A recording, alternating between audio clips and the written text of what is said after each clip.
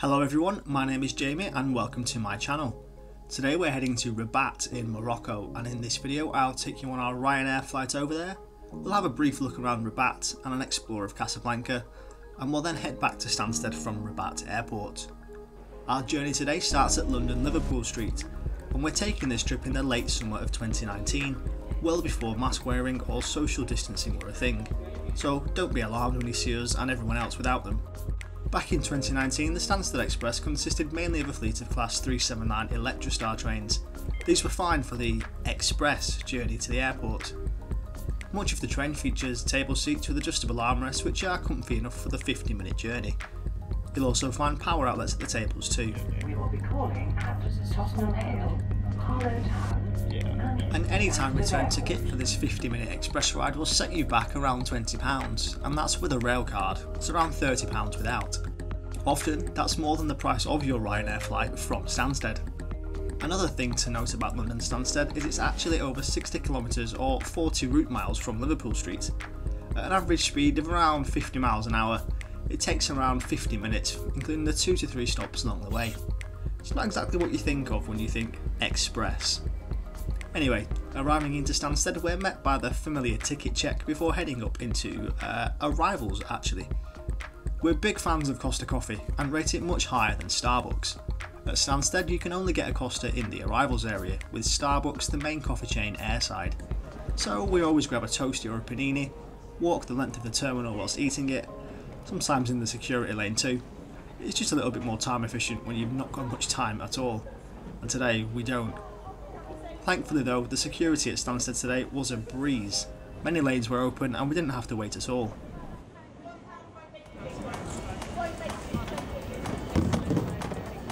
And into the departure lounge we go.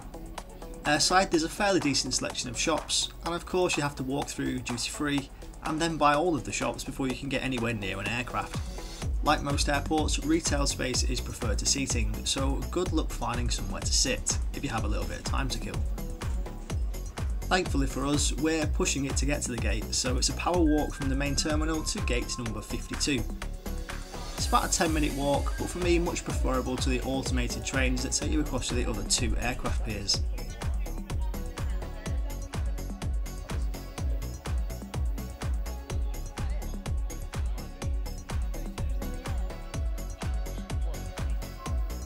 One more staircase to go before we're at the gate, and it's right at the end of the pier and down the escalators.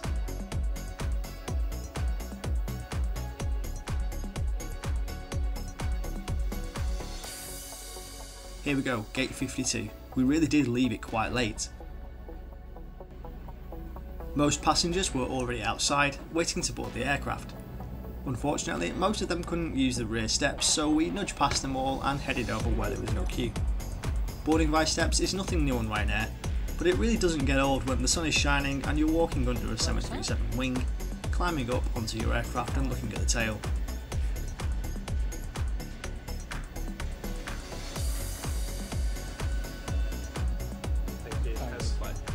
We made our way through the fairly busy cabin and parked up in row 25 seats E and F. having together with the rest of the crew, like booking your village flight to. Short beginning on the way, bit of takeaway for us to do here. It's going to take us another five minutes. After that, we push on stand. It's going to be a short taxi, sorry, not taxi out down to the other end of the airport. Uh, taking off the eastern one way here at Stansted. After departure, we'll make a left turn over towards the other side of London. Uh, climbing up to a cruising altitude of 37,000 feet. We're on route, smooth flying conditions for the majority of the journey, looking at a flight time in the region of 2 hours and 55 minutes. Once the doors are closed, the cabin crew will be doing a safety demonstration for your safety and the safety of the passengers around you. Do require you pay special attention to the tour demonstration after that to bad It's a fairly long taxi out to runway 04, which we're lining up on to take off from here.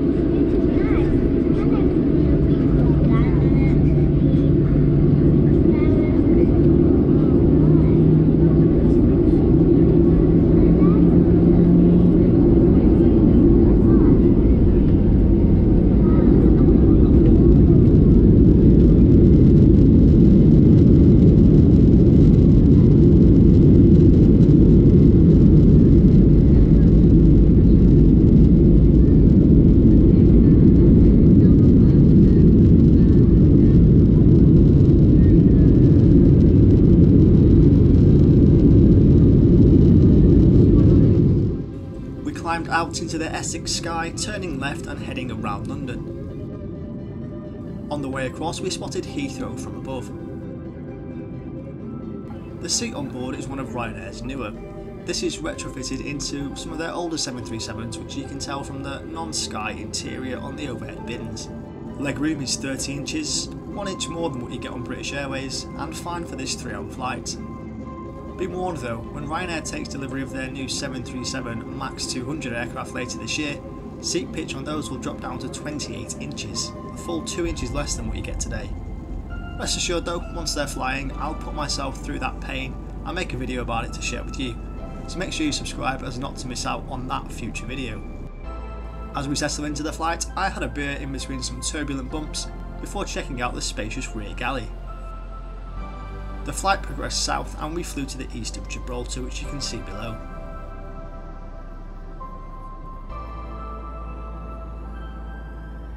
Once south of mainland Europe and as the sun began to set along the horizon, we started our gradual descent down into Rabat, flying along the Atlantic coast of Morocco.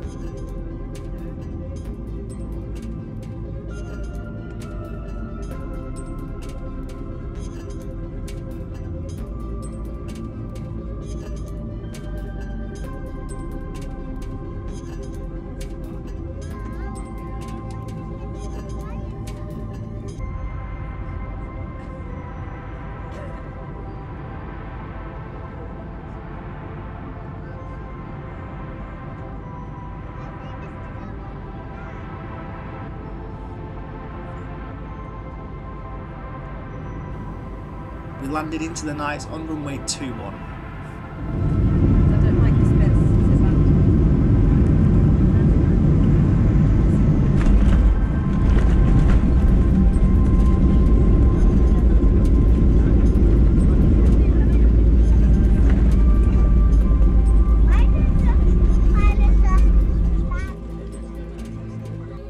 Alighting was prompt and we disembarked into the warm Moroccan air. Now as promised at the start of the video, I'll take you through a few activities that we go up to here in Rabat and in Casablanca as well, before showing you the terminal here for the flight home at the end of the video. It's a fair walk across the tarmac to immigration, where I decided it was best to turn my camera off. Once our passports had been stamped, we found our taxi driver who the Airbnb host had arranged to pick us up. I love the terminal colours here at Rabat Airport, all lit up in the Moroccan flag at night. We made our way through the quiet streets of Rabat to our Airbnb, located on the seafront near Fort Rottembourg. I've probably butchered that, so I do apologise if I have, but that is now a photography museum. Once there, we got some rest, ready for day one in Rabat. Walking north along the coast, our first visit today was the lighthouse. We continued our walk up along the coastline and checking out the Kasbah of the Udayas, or the ancient citadel pitched high above this inlet. The buildings within the citadel are reminiscent of Marrakesh to the south, with their colourful artwork. On our way down towards the river, we passed through the Andalusian gardens before heading into the old markets bazaar of Rabat, which it's fair to say was having a little bit of a facelift on our visit.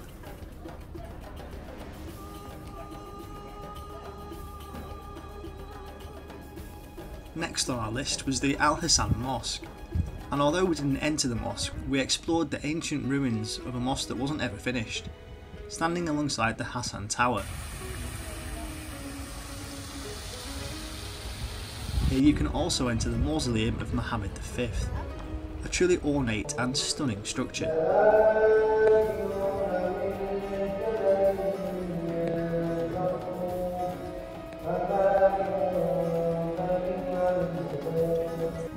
After lunch, we took a tram over to Sale, or Salé. Let me know in the comments how to correctly pronounce that.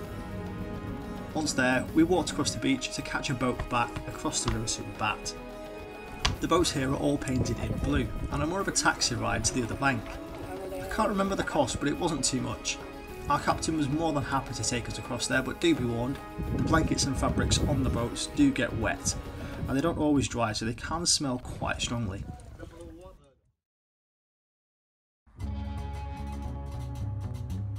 Day 2 of our two day trip will take us down to Casablanca.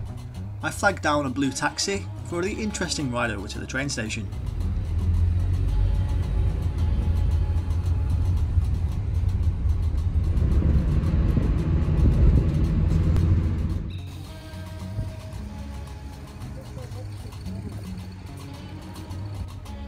There's two main train stations in Rabat. We want Rabat Ville or Ville, just off the wide open Parisian style Mohammed V Avenue.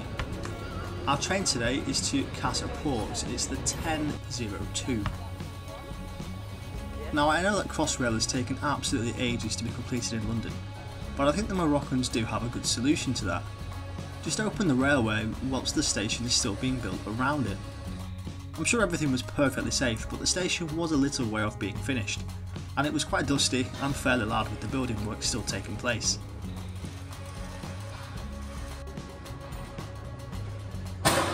Railways in Morocco are operated by ONCF and they have a mixed fleet of rolling stock. Here's an Espace Voyager built in France.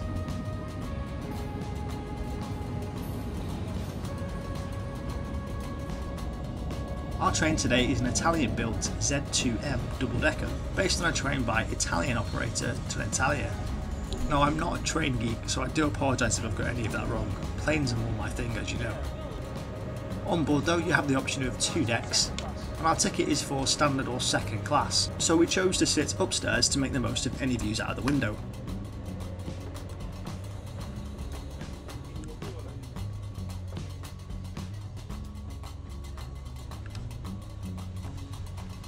On board the seat is fairly comfortable if a little worn, there are no power outlets but what more do you need for the 60 minutes?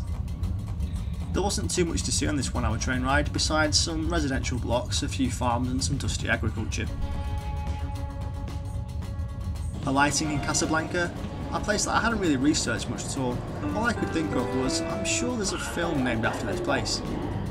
The station here was much more complete than Rabat's though. We hadn't yet had breakfast, so our first stop Yeah. was an authentic Mackey's. There's a Mackey's. In Casablanca, you even get to share your McNuggets with the local cats. First stop on our magical mystery tour then is Hassan II Mosque. We took a red taxi from outside the station, and every taxi driver here will try and give you the Casablanca tour, showing you the famous scenes from the movie. Honestly, this place here is absolutely incredible. You really have to see it to take it all in. Unlike the part-built mosque that we saw in Rabat, this one was only finished in 1993 and is stunningly ornate and it's used pretty much every day today.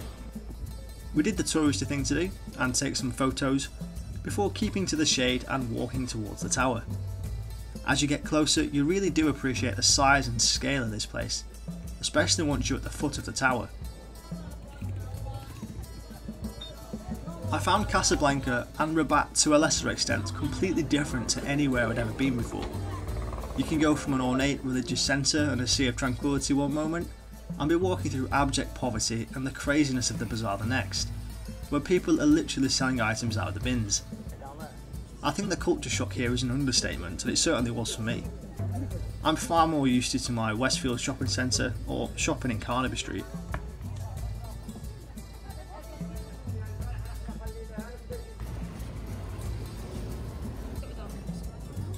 We had our second lunch in a tapas restaurant that we found away from the hustle and bustle. Needless to say, we might have overdone it with the food a little bit today. Unfortunately though, it's now time for us to head back to Rabat and catch our flights home. Now there are buses in Casablanca, although I'm not too sure how safe they are. And yes, this bus was full of passengers just a few minutes before I took this shot. The train back to Rabat was very much the same as the one that we took here. Once back in Rabat, I just have one more thing to add. Check out how well disguised these foam masts are. They almost look like real palm trees. We took a taxi ride to the airport, which dropped us off right outside. The terminal here is really nice, isn't it? To enter the check-in area, all bags need to go through an X-ray machine, although I didn't really see anybody checking the X-ray screens as they passed through. Despite already having printed our boarding passes at home, we weren't allowed into the security line, as in Rabat you need to get your ID verified before you can proceed through security. This meant queuing up at a check-in desk despite no bags to drop. for an agent to simply stamp our boarding pass to say that they had indeed seen our ID. Our ID documents were checked four times between entering the terminal and getting into the departure lounge. The lounge itself is actually really underwhelming compared to the outside of the terminal. There really wasn't much choice of shopping, there was fairly limited natural light, and not a great amount of seating really. Made the terminal feel a little bit dingy. Our flight to Stansted is the penultimate flight out of here this evening, thankfully on time and we boarded into the night. This evening's aircraft is Delta Zulu, and at the time of flying was only 18 months old. Being brand new, it features the full Boeing Sky interior, and the slimline Ryanair seats that we had on the flight over here. This particular aircraft now flies under the Malta Air brand, a subsidiary of Ryanair. As we taxi out for takeoff, I'll leave you with these cabin shots and bring this video to a close. Thank you for watching and staying through to the end, I really do hope you enjoyed it. As always, I'd love to hear your feedback down in the comments, and it goes without saying, please subscribe for more uploads coming soon. Thanks again for watching, stay safe, and I'll see you next time.